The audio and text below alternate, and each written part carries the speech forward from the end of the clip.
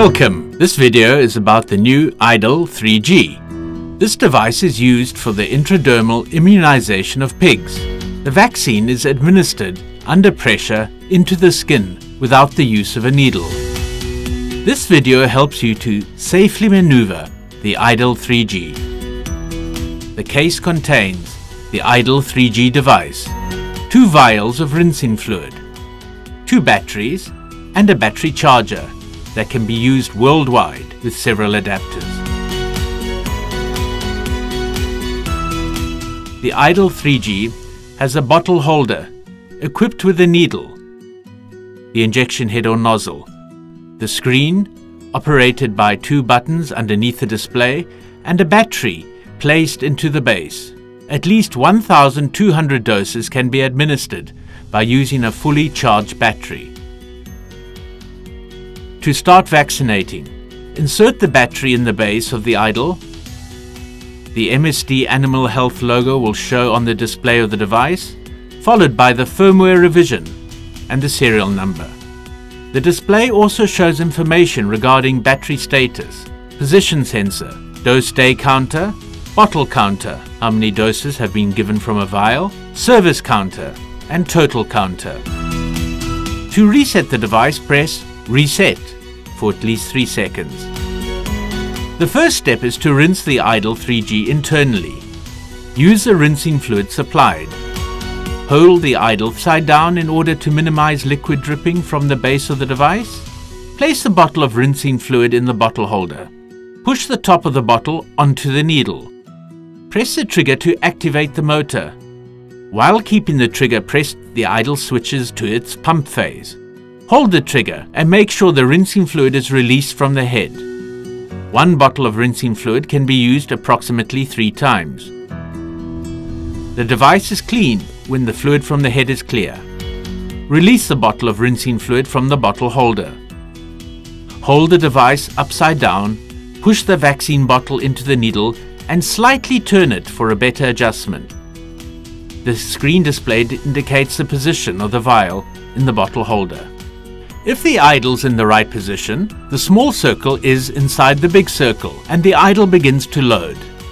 This function helps to reduce possible air inside the system. If the sensors detect rinsing fluid, a warning message is shown on the display. Before starting vaccination, expel the rest of the rinsing fluid by pressing the trigger at least three times. When the IDAL is primed with vaccine, the display shows a running pig. The IDAL 3G device only recognizes certified vaccines and will not vaccinate with uncertified liquids. The intradermal vaccination works with counter pressure. While vaccinating, the counter pressure comes from the skin of the pigs. To demonstrate this, we use two fingers to apply pressure to the head of the device.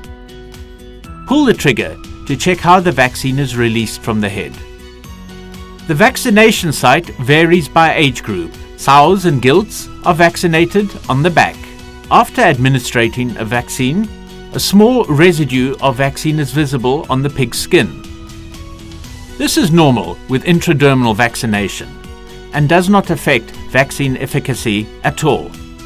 Piglets can be vaccinated on the neck, on the back, and the hind legs. Make sure the vaccinated piglets are properly marked. For internal cleaning, put the IDAL 3G device on standby, releasing the trigger and remove the vaccine vial. Place the rinsing fluid by pushing the top of the bottle onto the needle. Pull the trigger. Check if the rinsing fluid is released from the head. Then release the trigger. This turns the ejector off automatically. Remove the bottle of rinsing fluid. The device can best be stored with the internal tube filled with rinsing fluid.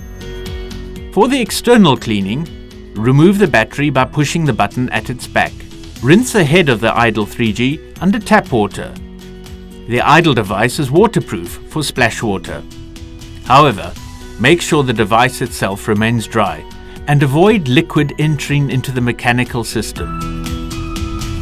Use a cloth and commercial disinfectants at recommended concentrations.